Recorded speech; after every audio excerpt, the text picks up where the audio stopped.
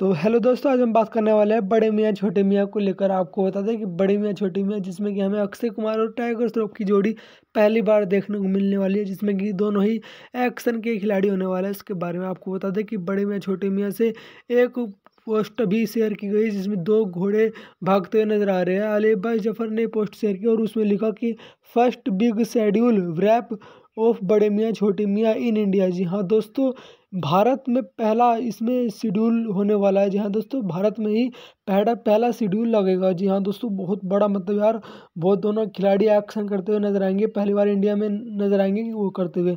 India में मतलब schedule बनाया गया है, कहीं बनाया होगा मुंबई में बनाया गया होगा या दूसरे महाराष्ट्र या मतलब कहीं और बनाया गया होगा तो वही पहला शेड्यूल मुंबई, यहाँ पर हमारे देश में ही बनने वाला है। जी हाँ दोस्तों, अभी शूटिंग कहीं और भी प्योर पूरी की दूसरे देश में, लेकिन आपको बता दें कि अभी फ़र्स्ट शेड्यूल हमारे देश में ही होने वाला है। तो भाई लोग बहुत बड़ी अपडेट सामने आई है तो भाई बहुत मज़ा आने वाला है इसमें। तो फ़िल्म भाई बहुत बड़ी होने वाली है, अक्षय कुमार और टाइगर श्रॉफ की जोड़ी है भाई, और दोनों ही एक्शन के खिलाड़ी है भाई, बहुत ज़्यादा मज़ा आएगा इस मूवी में पूरा। और बात करें इसकी रिलीज़ डेट के बारे में तो आपको बता दें कि तेईस दिसंबर को, यानी क्रिसमस के मौके पर ये मूवी रिलीज़ होने वाली है। तो आप इस मूवी को लेकर कितने ज़्यादा एक्साइटेड हो प्लीज़ कमेंट में बताना।